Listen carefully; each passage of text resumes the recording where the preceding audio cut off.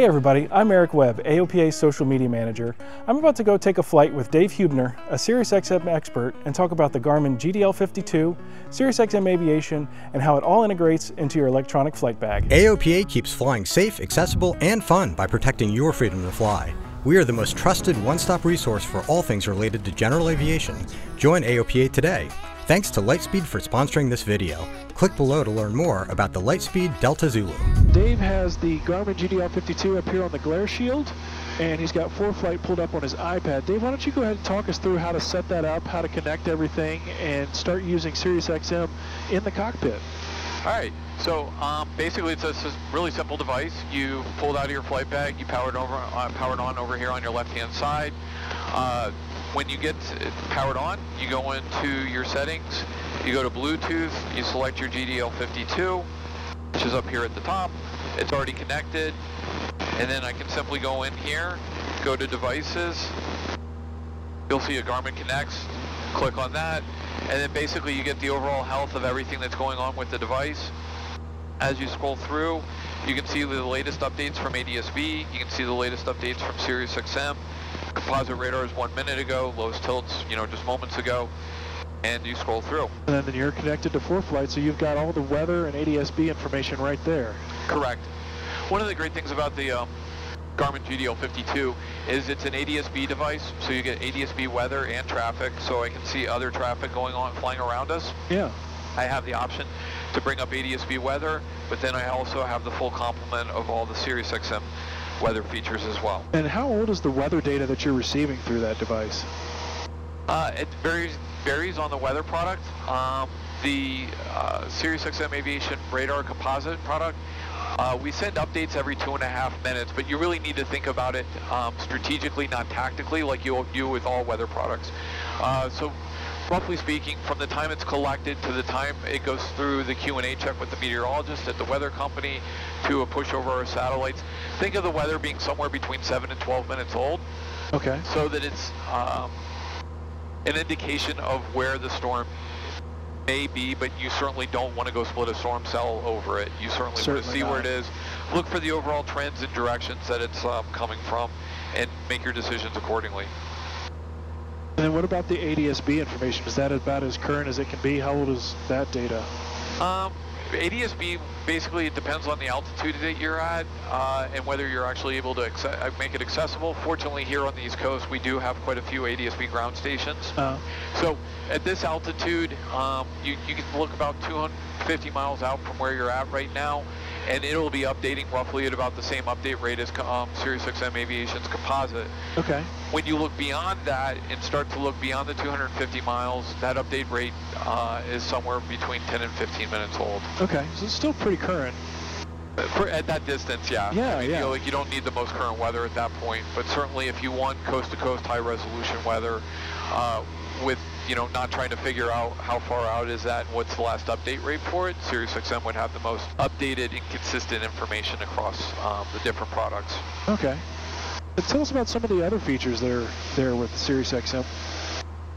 Well, the nice thing about SiriusXM is it has two different kinds of radar. It has uh, your base reflectivity, so, you know, if you're flying at less than 10,000 feet, it's more likely to show what's coming out of the bottom of the cloud. Uh, we have the composite radar product that updates every two and a half minutes. Um, but again, that's just for the um, areas that we're able to pull information from. Uh -huh. We also have lightning information. We have airmets, sigmets, uh, METARs and TAFs. Uh, okay. Freezing levels, icing, turbulence, temporary flight restrictions. So you're obviously running all of that on a on an iPad with ForeFlight. What other programs and devices is, is this compatible with? The GDL52 uh, and 51 will work with uh, both Garmin Pilot and ForeFlight from an app perspective. Uh, and then it'll also work with the aera 660 and 760 uh, portable weather displays. A key component that I love about SiriusXM, at least in my, my ground-based vehicle, is the entertainment. And I understand that you can get that through the GDL52 as well. Can you talk through how to do that? Correct. So um, with uh, the GDL 52 and 51, you are able to bring in SiriusXM music into Garmin Pilot you can pick your radio stations, you can Bluetooth it to your headset, or you can put it into the aux panel of the aircraft. It's also a nice way with um, Garmin Pilot. It is a free download if you're a uh, ForeFlight user. They still allow you to download Garmin Pilot at no additional cost to basically tune in your music. And then you can also, uh, on the ground, do your firmware upgrades for your hardware too. Yeah, it's smart doing that on the ground instead Yes. of in, in flight.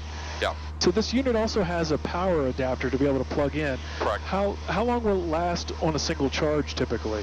I, I uh, jokingly say that your bladder will give out before your battery will give out, but um, it's typically about it's about a five-hour battery, but you Okay. can pull plug it in and uh, draw ship power if you need to.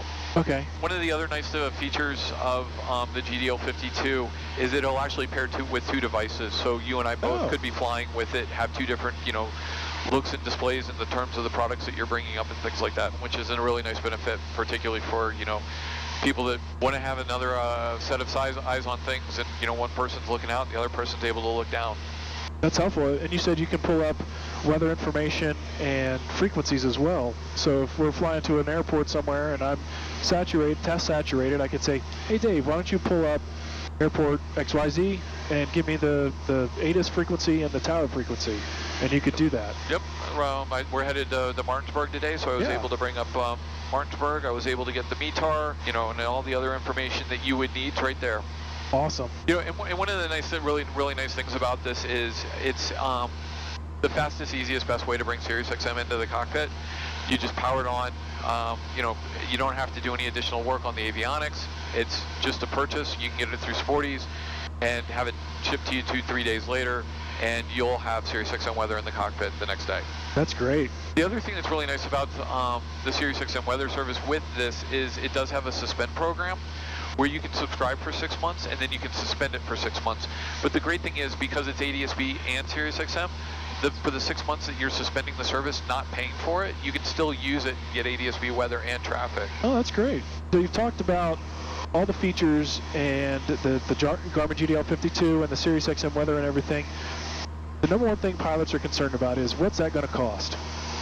So uh, the device costs just over $1,300, um, but it does come with a three-month trial. So as soon as you get it, call SiriusXM. You'll either get a Pilot Preferred subscription or a Pilot for ForeFlight subscription. That does include entertainment. And then basically you get it for free for three months, and then you'll start to uh, subscribe thereafter. And what are the what are the rates for subscription? Either is it a month to month or is it an annual subscription? It, we basically do it on a monthly basis. Okay. Uh, the Pilot for ForeFlight subscription, which is ideal for ForeFlight, Right. is $40 a month, and then the Pilot Preferred subscription is uh, $59 uh, a month. Okay. The SiriusXM is an AOPA strategic partner. So what benefits do you offer to AOPA members? First of all, we have a uh, three-month trial offer. Um, so basically, if you go to AOPA, aopa.org forward slash SiriusXM, uh, you'll see the different offers that we have to offer. So the three-month trial offer would be there. Uh, you basically just get your radio ID from your receiver, so it doesn't matter if it's a new airplane, old airplane, push, pull, or drag it in. We will happily give you a three-month trial on that uh, receiver. Uh, and in addition to that, um, we're really excited about this. We're getting ready to offer an exclusive member benefit with uh, Sporty's with the weather courses. So Sporty's has collected several different um, weather courses, and we've made it available to the membership for free. It's really targeted for um, certified flight instructors and their students to get more familiar with weather information. There is some stuff about SiriusXM in there, but it's more about like the things that they will need for their private uh, and getting ready for that test. That's awesome.